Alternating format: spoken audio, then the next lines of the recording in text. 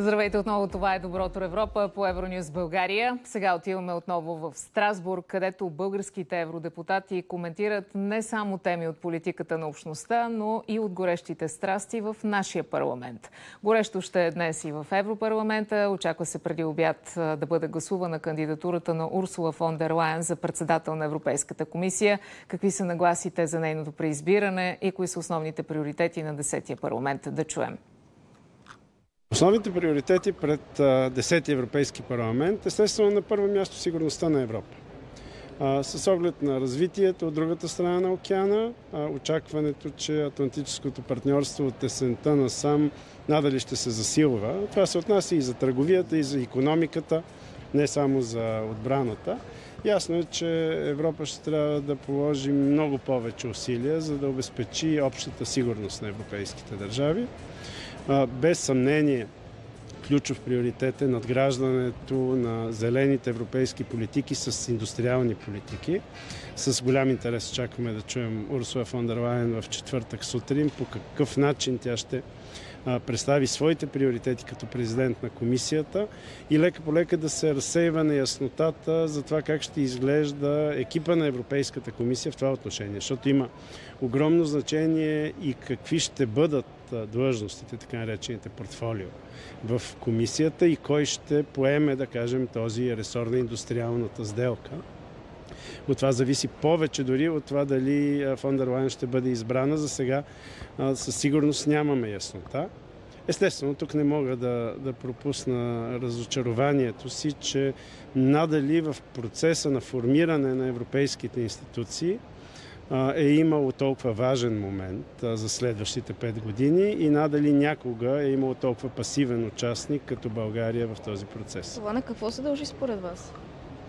За мен е чак трудно да си обясна. Разбирам парализата на политическата ни система, но абсолютната пасивност, пълното отсъствие на правителството ни от този процес и пълното отсъствие на тази тема от разговорите между партиите. Дори ако щете разговорите за прочутите първи, втори, трети мандати, а те сякаш не се състоят в момента, в който Европа определя лидерството и приоритетите си за петте страшно тежки години, които ни очакват. Това, което казвате, е наистина много сериозна аларма. Означава ли, че заради вътрешно-политическите сътресения може да ни изолират изцяло?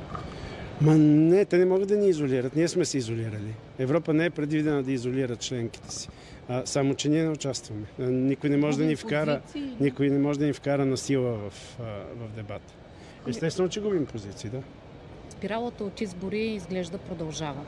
Вашите партньори от ПП, ДБ поискаха повече време. Дали ще им бъде дадено и това правилна стратегия и ход ли е?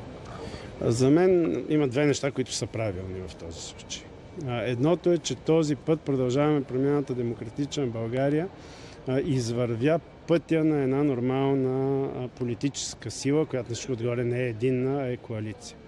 Събраха се ръководствата, колективните органи на отделните партии. Видя се, че има различия, нищо драматично в това, че не сме на еднакви позиции. Намери се обща позиция след сериозна дискусия.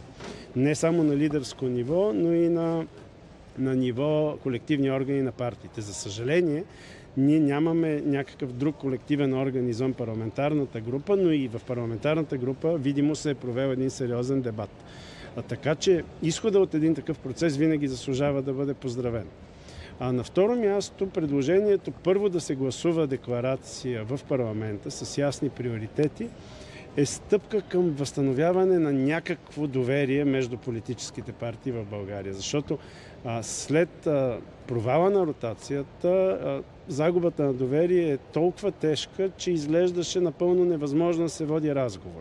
По този начин продължаваме промяната Демократична България поне предлага основа, на която воденето на разговор е възможно и бавното възстановяване на доверие е възможно. Дали някой ще яде 3 месеца, дълбоко се съмнявам, но и седмица не е малко политическо време. Господин Кънев, това забавене обаче, което искат, няма ли да стопира случващите се процеси, които казвате и без това са достатъчно забавени?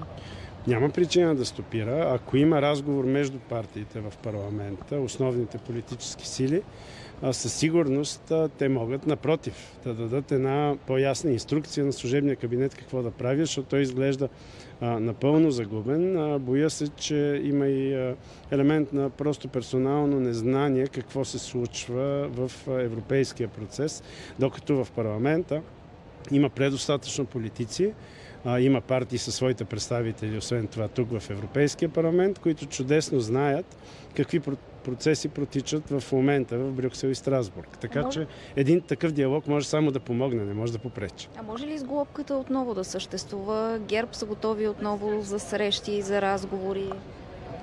Аз думата сглобка, понеже никога не съм я използвал, може ли да има формула на управление в този парламент, зависи единствено от доверието между политическите сили. А то сега е под нулата. Ако се качи над нулата, защо да не може? Нали?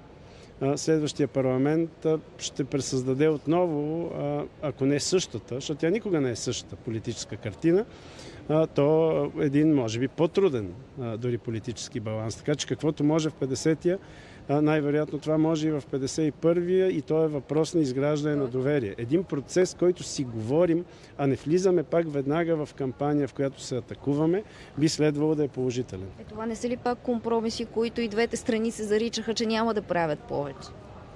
В политиката вариант, в който се действа без компромиси, или няма, или по-добре да няма. Защото в обществото вижданията на хората как се развива една държава не са едни и същи. Очевидно, вижданията на хората, кой почтен, кой не е почтен, също не са едни и същи. Интересите, които движат едно общество, не са еднородни. Без компромис по тях има диктатура, без компромис по тях няма демокрация. Трусовете в ДПС как биха се отразили според вас? Това е тема, която в момента избягвам да коментирам, а не защото я подценявам, а защото смятам, че е масово подценяване. Няма трусове в ДПС или персонален сблъсък Пеевски Доган. Подобна криза, каквато се развива там, предвид концентрацията на власт в ръцете на Пеевски или по-точно кръговете зад него, е криза, която има национални измерения и заслужава по-подробен анализ. Разбира се, но той беше фигура, която играеше основна роля, знаете, и в подкрепата и промяната на Конституцията и в други важни ключови въпроси в миналия парламент за това какво може това да доведе до този момент, дали стабилността може изцяло да бъде нарушена. В тази гледна точка, без да навлизаме, разбира се, в техните детайли и отношения с оглед на това, може ли да бъде сформирано редовно и стабилно управление без участието на ДПС, за да бъдат те изолирани? А отново казвам, средите в българската власт, това не е политика, защото не е публично, които през годините излъчиха Пеевски и в чието инструмент той се превърна, са твърде влиятелни, за да може момент, който, който предполага демонтирането на фигурата на Пеевски, да се коментира накратко.